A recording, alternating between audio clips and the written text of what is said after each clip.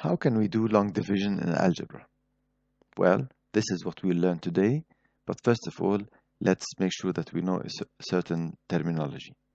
What is a polynomial? A polynomial is an expression in x where the powers of x are positive integers. So for example, x squared plus 3x is a polynomial. 5x cubed minus 6x squared plus 7 is a polynomial. 3x to the 7 minus 6x squared minus 9 is a polynomial and so on. The degree of the polynomial is defined by the highest power of x. So for this polynomial, the highest power is 2, so the degree is 2. So a second degree polynomial is a quadratic. This is a cubic. It's a polynomial of the third degree. And this is a polynomial of the seventh degree because the highest power of x is 7. Then, what's an improper fraction?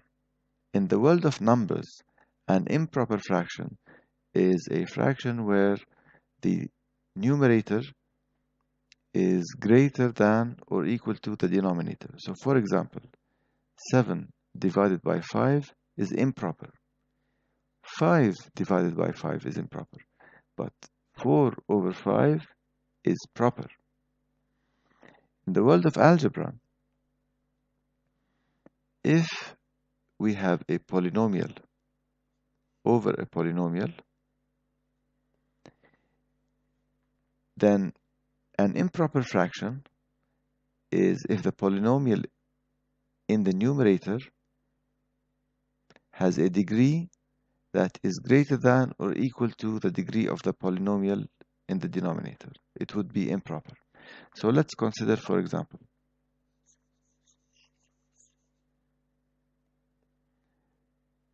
x squared plus 5 divided by x minus 2. This is second degree divided by first, so it's improper because the power of x in the numerator is greater than the highest power of x in the denominator. Consider x plus 3 divided by x minus 9. This is improper because the power of x in the numerator, the highest power of x, which is 1 in the numerator, is the same as the power of x in the denominator. But x squared plus 3x divided by x cubed minus 6x squared, this is a proper fraction because the degree of this polynomial is less than the degree of this polynomial. So that defines what a, an improper fraction is and what a proper fraction is. Moving on, let's consider long division in numbers. How did we do that? We used to write 652 divided by 9. 65, we started from the left. 65 divided by 9 is 7. 7 times 9 is 63, so we have a remainder of 2 that has, Uh, and we subtract to get a 2. We take this 2 down. 22 divided by 9, we can get two nines, but then we have a remainder of 4. What this means is that 652 over 9 is equal to 72 but since there is a remainder it's a plus 4 over 9 because the 4 still has not been divided. But in the world of fractions we do not write this plus. What we do is we write it as a mixed number 72 and 4 ninths.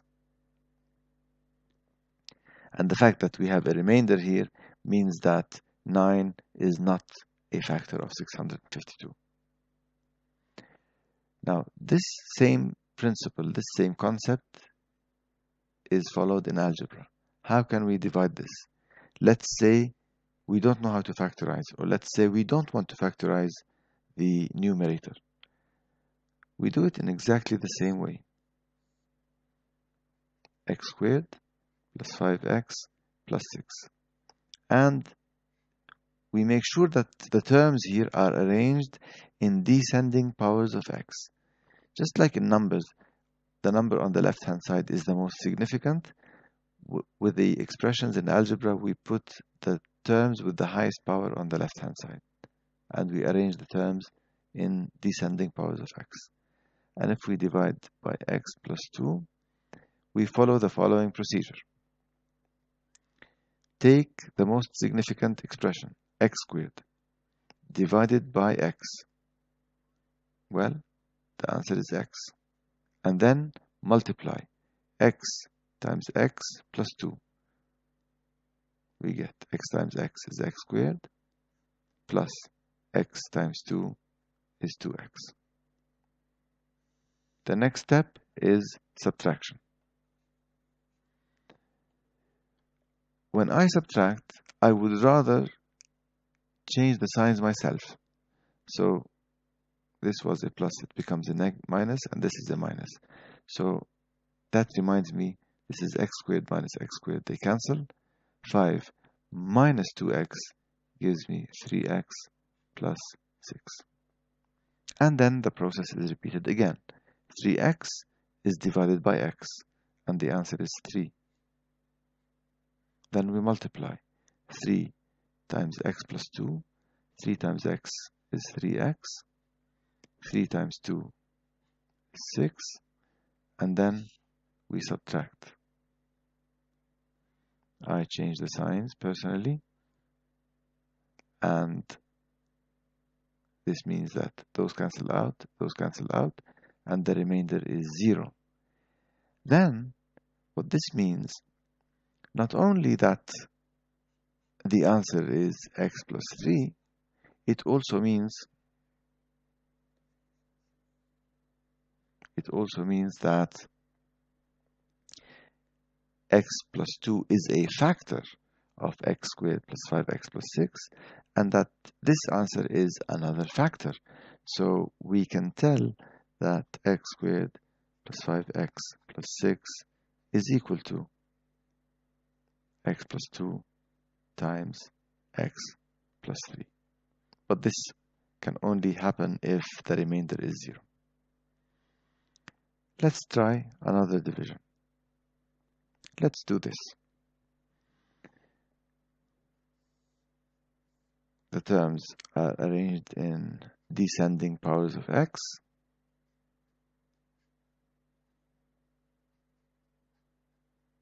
x squared divided by x is x. x times x is x squared. x times negative 3 is minus 3x.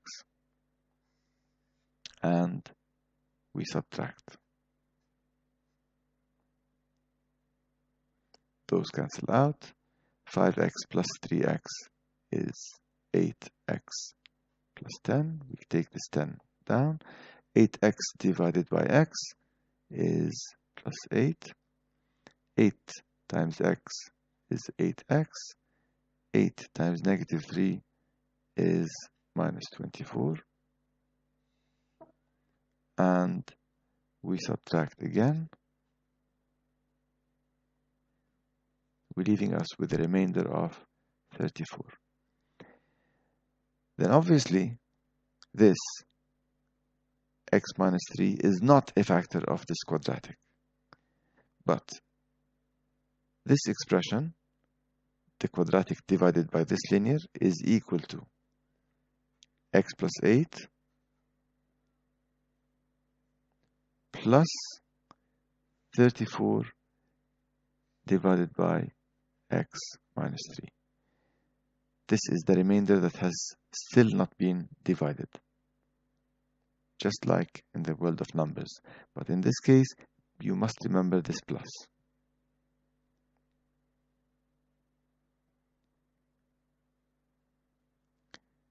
let's consider this. The first thing we do is we have to arrange the terms. So 3x cubed plus 6x squared minus 7x plus 4 divided by x minus 1 and the process begins. 3x cubed divided by x is 3x squared multiply 3x cubed minus 3x squared and subtract. Those cancel out. And they leave you with 9x squared minus 7x plus 4 9x squared divided by x is plus 9x multiply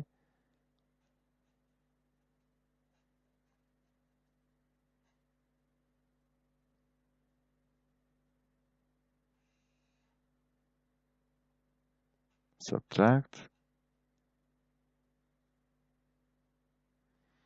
Negative 7x plus 9x is 2x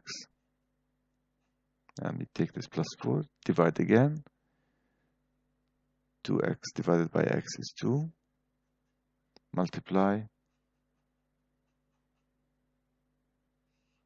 And subtract and you end up with a remainder of 6 so this cubic divided by this linear is equal to 3